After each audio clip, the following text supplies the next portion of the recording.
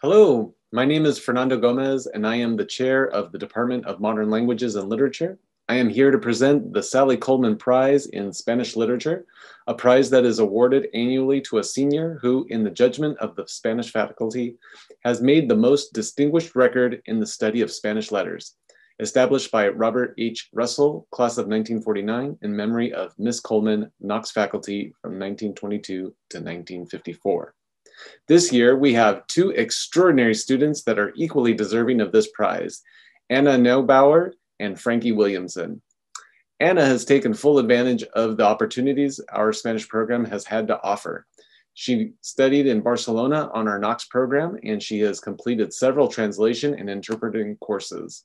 In fact, she even completed a virtual internship in translation in Barcelona and translated a wide variety of texts ranging from recipes to web pages. She has developed strong interpreter skills in these courses and can interpret at the accuracy of a native speaker. However, her passion is history, and with us, she has been able to explore the history of Latin America and Spain. For her capstone project, she decided to study the struggle for human rights in the history of the desaparecidos, that is, of those who were made to disappear during the Argentine dictatorship of the 1970s. Anna plans to continue her study of Latin American history in graduate school, and we know that we send her future university one of our best.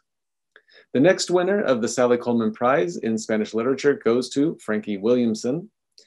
Frankie is a true scholar of the liberal arts. In every course that they have taken in, Span in the Spanish program, the professors have noted their brilliant analytical skills that stem from, the multi from multiple disciplines. Frankie has taken a wide variety of courses in the Spanish program, from Spanish Civil War and Spanish anarchism to Latin American cinema to flamenco.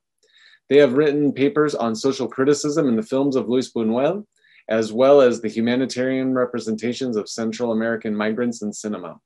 For their capstone project, Frankie is currently researching the exemplary life of Salaria Kea, an Afro-American woman who volunteered her medical services with the International Brigades during the Spanish Civil War.